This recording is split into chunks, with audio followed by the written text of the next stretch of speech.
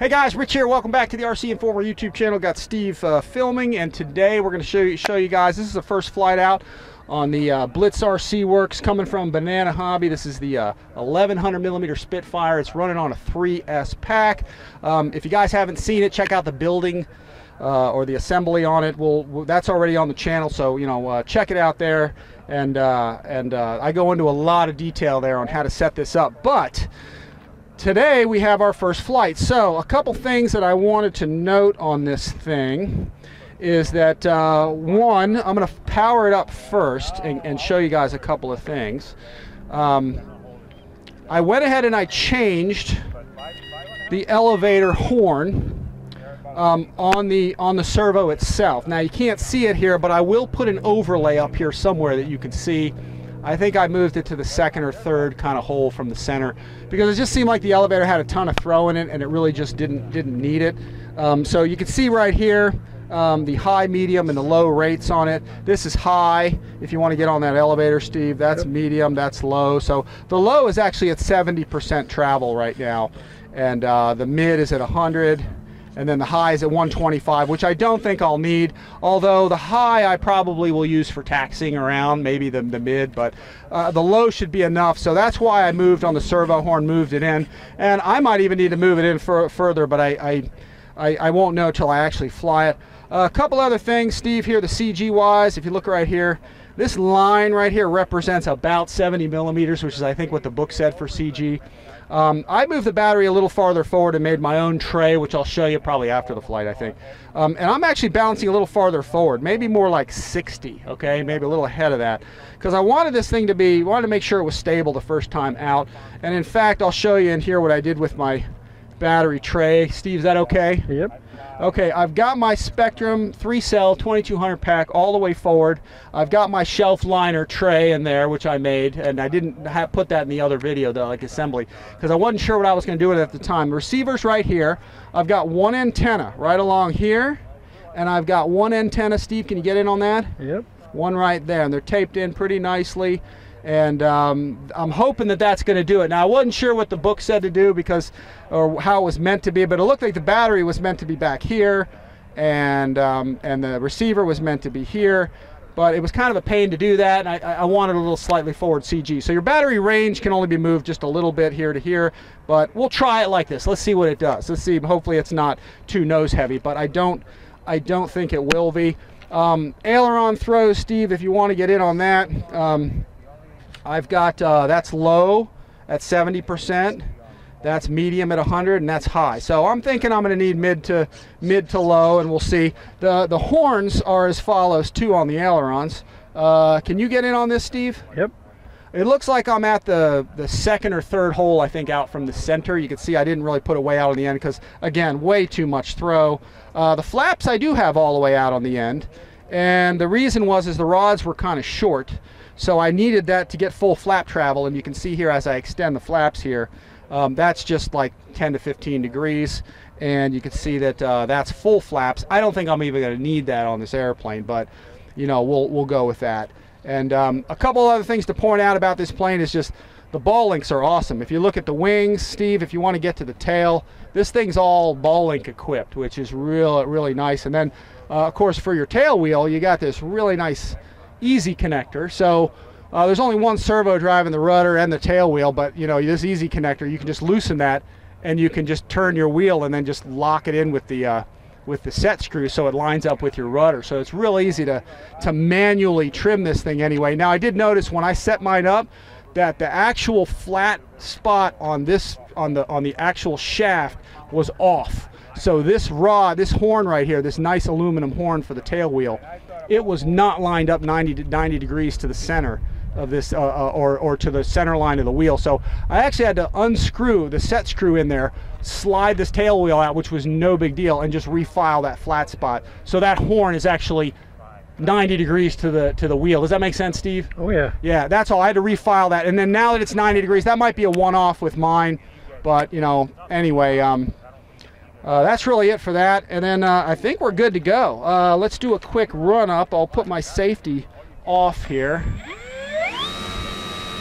Only going to fly it on three cell, guys. It's a three cell airplane. I hear guys fly it with 4S, but um, you know maybe we'll do that with it later. But for now, we're just going to go with it as is. And then we got to figure the elevator to flap mixing if there is any. I hadn't done any of that yet, so. Um, oh, and one more deal, Steve. We're going to talk about this real quick. Um, the landing gear doors, they're really close to the grass. There's a good possibility if you have tall cut grass, and even today, we might tear a door off. I'm just going to try it. It's pretty well groomed out here, but normally for grass like this, if you're flying off pavement, it's not a big deal, but uh, because of the grass, we might snag a door. So normally I would trim a quarter inch, half inch off of the door for grass use, so the the the the the the, uh, the doors are not snagging on the grass. So we'll see. We could lose a door today, but we figured we'd try it as is. And if not, like I said, if I tear one off, then I'll know. We really got to trim a little bit of that plastic off so it clears the grass. So anyway, with that, you ready, Steve? Let's go flying. Let's see what we can do here.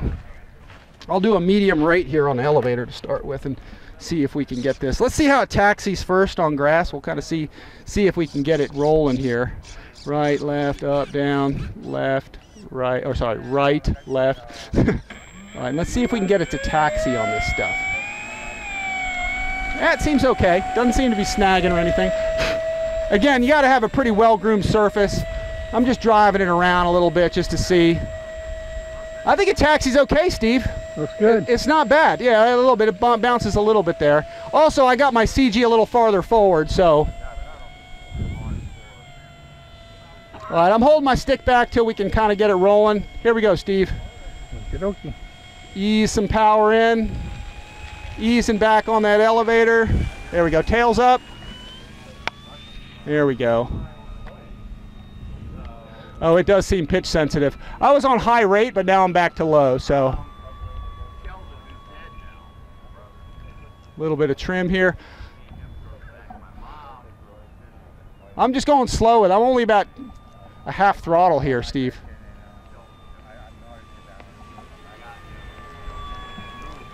I'm not pushing it hard in the beginning, Steve. I'm just getting it trimmed up. Gotcha.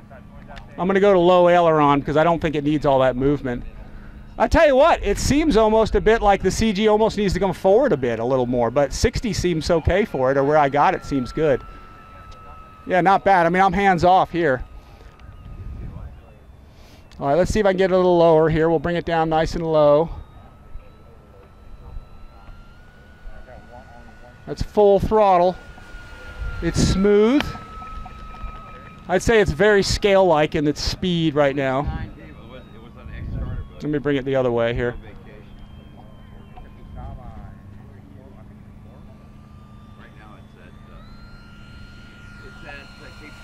Yeah, smooth.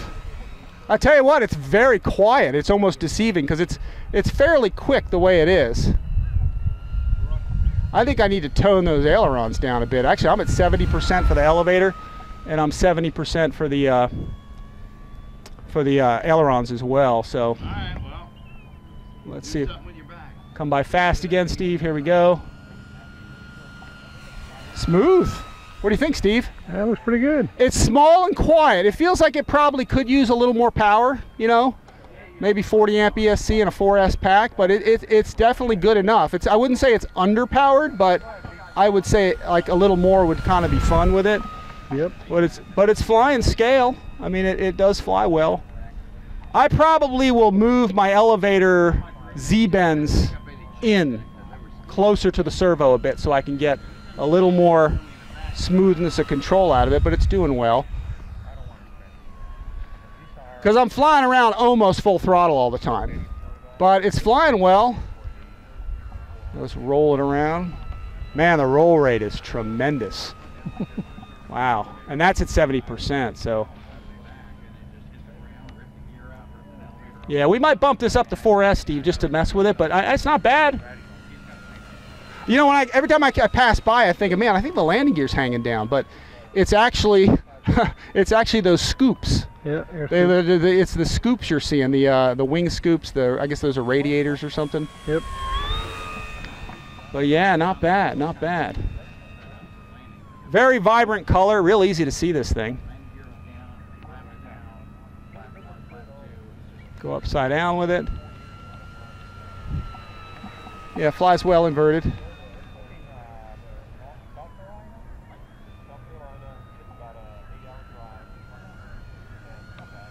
Peel away.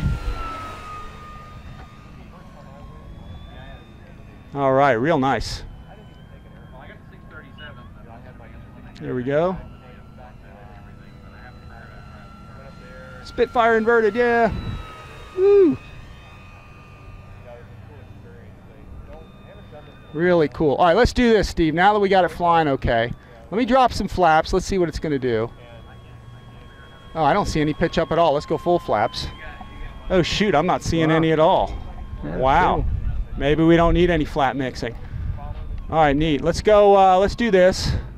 I'm going to do a loop out from it. The flaps are up. Let's go around the top. Nice. Roll again. Definitely needs a little negative elevator um, in the uh, in the roll for sure. Let me do some sort of steep turns out front here, Steve. Nice. Flies great in closed quarters, but I, Steve, I think we need actually the CG just a hair forward even. Hmm. All right, let's do some landings with it. Let's get the landing gear down. Gear's coming down. Let's do some landings without any flaps at all. Let's just see what it does. Very narrow landing gear on this thing.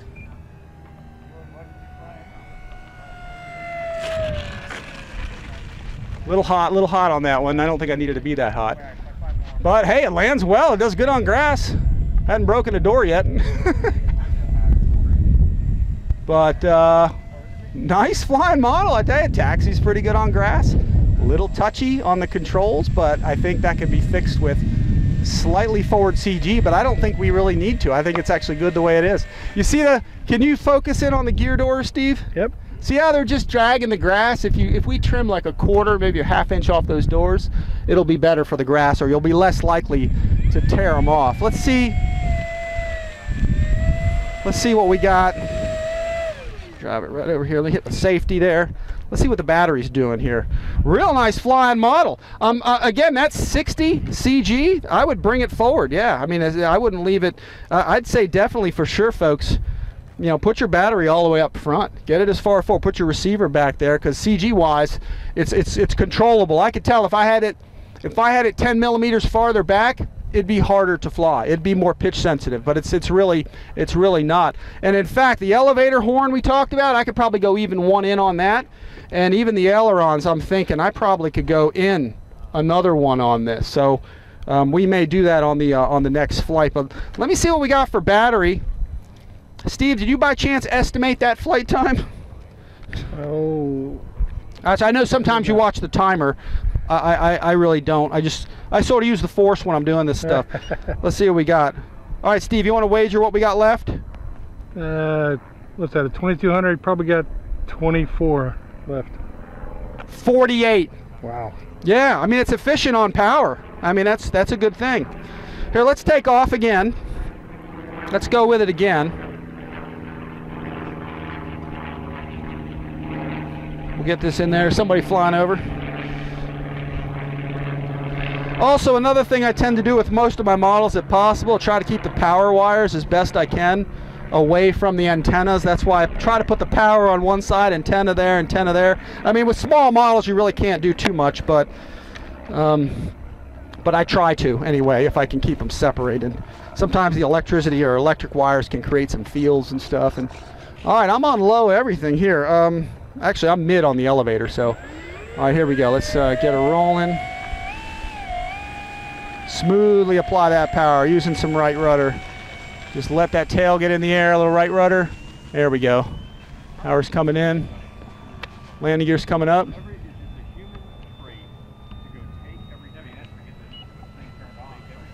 Nice. Very nice though.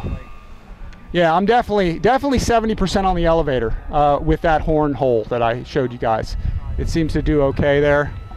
Let me pitch back on the. Let's see. Nice flyer though. I'd say it's definitely got this, uh, uh, uh, enough scale power on 3S. Uh, 4S it would definitely uh, race right along. That's for sure. That's full throttle zooming by. It's very quiet. It's a little deceiving. All right, let's get the gear down. I'm going to try landing with flaps. Now here's where here's where we can tend to nose this thing over with flaps. So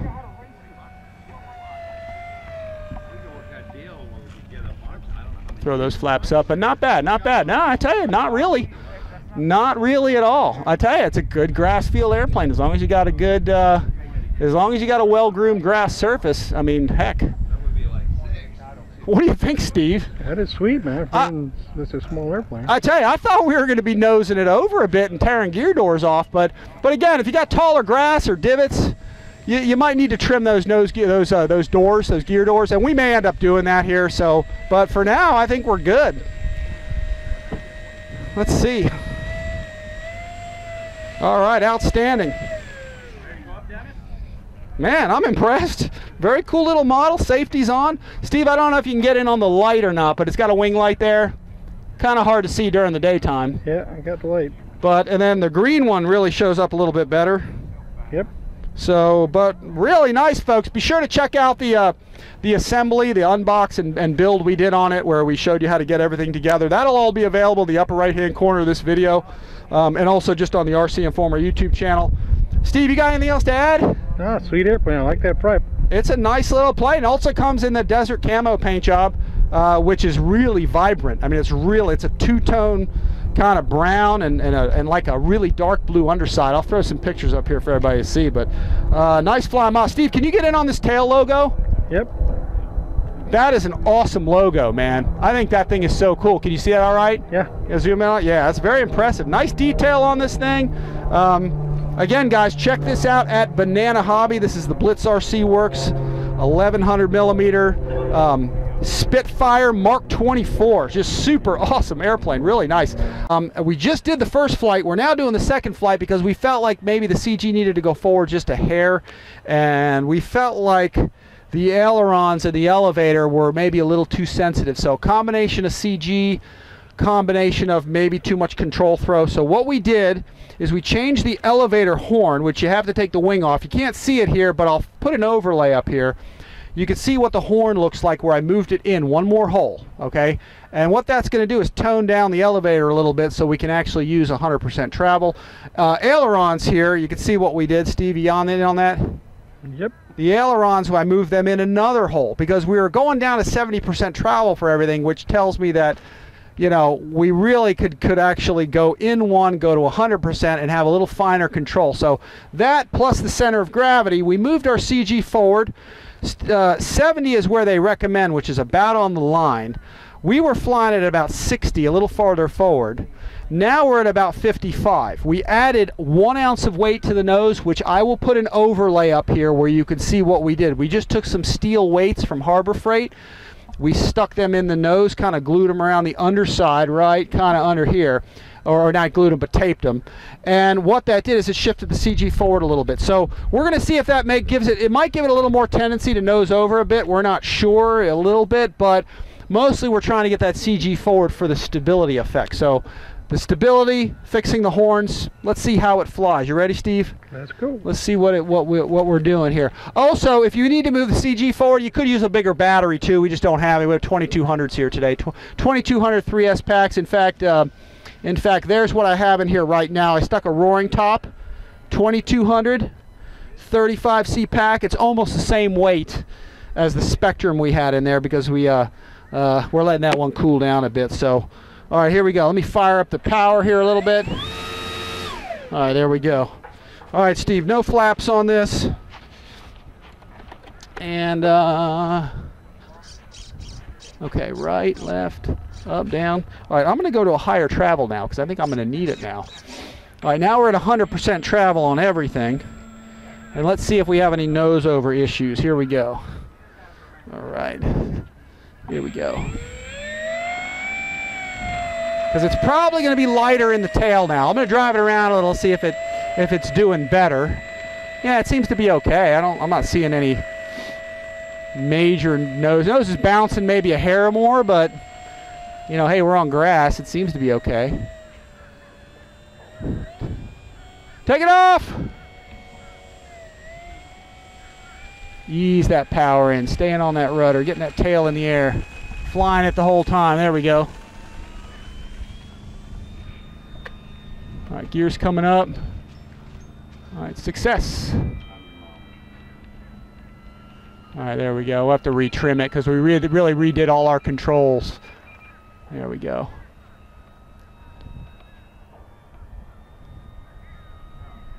Yeah, it seems a little more stable. That's full throttle. Okay, nice. Let me trim the nose down. A little bit of right aileron. Yeah, it's definitely not hunting around as much. Yeah, it's definitely more stable. We definitely got it smoother. I'm like hands off here, and it's it's going nice. Let me trim it nose down just a little more. Yeah, very nice, very smooth. I think that fixed it, Steve. I'm thinking the CG where it's at now, which is about 55, roughly 55 on the CG, seems really good for this. Yeah, it looks real smooth. Very smooth. I was I was kind of playing with the controls a little before, not bad, but it seemed like the ailerons were very sensitive, very touchy, and so was the pitch. I to scrape the ground here with it.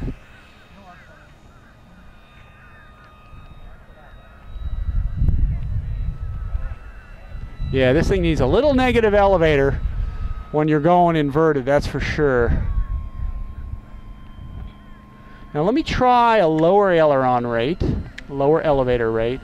That's still 70%, but wow, that really does smooth it out now. Now it's very manageable for probably for most people would probably like it this way. Yeah, yeah, the pitch is real smooth now. Yeah, very cool. Very nice. I'm going to go back to 100 on everything. I think what I'd like to see on this is really a four cell system in it. I mean, it's got plenty of power. It does what it needs to do. It comes by here, coming by hot again. It's definitely scale. But yeah, I can see this with a 4S power system. It'll take the battery, so. All right, let's loop it. Nice. Roll. Very nice, very nice, very nice flying plane. I tell you, the only Spitfire, Steve, I've flown is the one we got on floats. Yep. You know, I have never actually had a Spitfire on wheels before. This is the first time I've had one to fly. And this is the Mark 24, which was the the most recent version of the Spitfire, the most updated, the last model they made. So I think it had an 80% imp- improvement in climb performance from the original or something, and it weighed twice as much or something. But it was had so much power. I think it was a Griffon motor in it or something instead of the Merlin. So it was like 2,000 horsepower or something like that. Yeah, very nice, very nice. Point roll. Yeah, that nose dips a little bit. That might just be a uh, Spitfire uh, thing. All right, let's get some steep turns out front, Steve. I'll come in fast here. Yeah, nice. Very nice. Ooh, look at that sunlight. We got sunlight. Sunlight on the models. Cool. Oop, that nose diving on me a little bit. Can't blame the wind today. Let's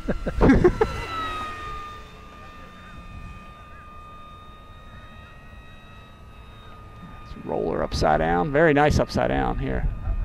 All right, Steve, let's come by inverted. Here we go.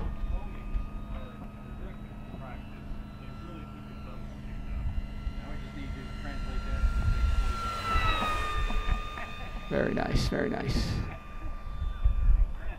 All right, let's get to some landings. Landing gear's coming down. I'll do this without uh, without any flaps. See how we can get this down. You, this thing likes to land hot. It feels good coming in hot. You know, it just uh, has a good feel to it.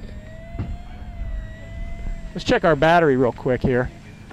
But I tell you what, guys, 55 millimeters roughly on the CG and bring those flight controls in and you got a really much smoother flying airplane.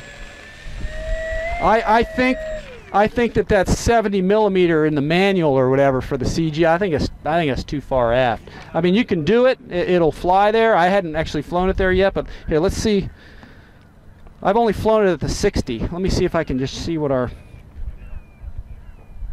check this out, Steve. Let me plug this in, see what we got. All right, we are at, let me put my glasses on. What do you think, Steve? 42. 60. 60. 60%. Yeah, you can fly this. The thing is, that's the beauty about 3S. It's got enough power, but man, you can fly kind of for a good all day. Steve's saying to himself, oh man, my arms are killing me now. I got to keep filming it for Rich. here, let's uh, let's go up a little more, do a little more if you're cool with that. Yep. Let's see here. All right, here we go. Yeah, it's perfect now. I see I'm flying everything at 100% travel now. Easing the power in slowly. Little right rudder. Ease in the power and let that tail come off. There we go. Ease the power in, let it come up. Real nice. There we go. Very cool airplane. What, what, what, were the ladies called that uh, ferried these things? You remember? Well, the wasps The. Wafts or something? Yeah, there, there's a bunch of ladies that ferried these things around, and they said that um, the Spitfire was a, a lady in the air but a bitch on the ground because the landing gear, I guess, was so narrow. Yeah. But that's what they. Uh, it's a nice airplane, man. Yeah, let's do this. Let's go pure vertical with it because we hadn't really done that with it. Yeah, it peters out a bit. Yeah, it's not a vertical airplane. Like I said, it could use some power probably for that. Gears down. Let's go with one setting of flaps and let's see how it is on flaps. There's a greater chance we might nose it over like this. I'm holding that stick back, throwing the flaps up. Nah, I tell you, man, this thing lands great on grass. Holy smokes! Yeah, well. I'm really surprised we haven't hit um, hit a pothole and tore a gear door off yet. Uh, I really think that most people with grass, you're gonna have to trim the doors. I can I can actually hear the doors scraping the grass a little bit, you know, um, and you can see them touching. I mean, they're definitely touching the grass. Take it off. Right rudder, right rudder. Easing that power in, half throttle coming up with it. Yeah, awesome. Coming by. Fast. Very cool, very cool. Very neat model. Whoa! That wing dip, dipped on me. Saw that. Good flyer. Very nice model. All right, Steve, I think I'm going to bring it on in. Landing gear's coming down. I tell you, let's do this. Let me come by. I'm going to go full flaps with it. Gears up. Let me do a little slow flight pass with it and see how it does going by slow. That's something I really hadn't done with it. Yeah, it's getting windy now.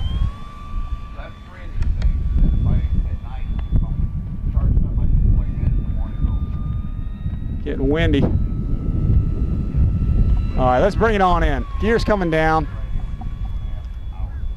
We got some wind here, so I'm gonna I'm gonna leave flaps up. Ooh, yeah, a little dip there.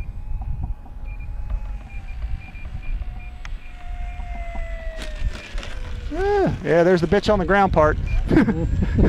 I tell you, it's not as bad though as a um, as a BF 109. BF 109s go way up on the wingtips. They almost every time you scrape one if you got a model of one, but um, but this is not bad. I mean, it taxi's great. Notice I'm holding full stick back because you want to keep uh, the prop wash over the elevator, so it's not nosing up.